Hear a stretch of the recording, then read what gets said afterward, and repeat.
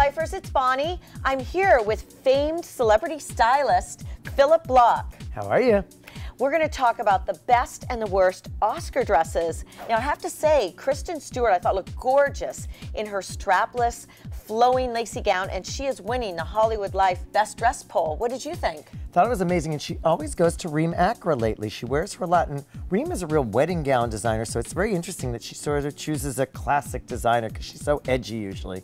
Speaking of wedding gowns, another actress who looked like she was wearing one, I thought was Jennifer Lawrence. She would have made a brilliant, beautiful bride, and instead she was there at the Oscars and she tripped on that on that dress. She definitely has a problem with the big gowns and getting up the stairs. She had the same issue at, at the last award show, but I thought she looked like Hollywood glamour. Very elegant. Well, she was glamorous. Now, what about Anne Hathaway, though? I don't think that was glamorous to look like she was exposing her nipples. yeah.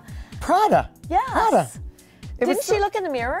It was sort of an homage to Audrey Hepburn and Holly mm. Golightly, but badly done. And she said, it's business in the front and a party in the back. I don't know what party it was. Good point. On the other hand, in terms of sparkles, ah. Halle Berry did not do it. Those shoulders looked enormous. oh my God. I've worked with Halle many, many times, and she looked like she was pregnant. She looked like she's in her third Maybe month she of is. pregnancy. Who knows? You got to find that out. Yeah. There's the story. I, I just, it was redundant. And Selma Hayek, oh my God.